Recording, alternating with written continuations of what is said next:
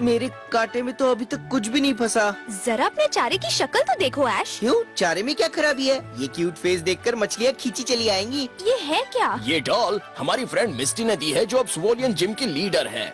ओह ऐसी बात है तो लाओ मैं भी ट्राई करती हूँ। ऐसा सोचना भी मत डॉन दे दो ऐश। ये मेरी फ्रेंड ने मुझे दिया है। बुइजल नदी के रास्ते इसी तरफ़ आया था।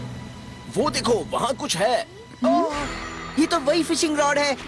ओह, ये देखो मेरी डॉल अभी भी सही सलामत है।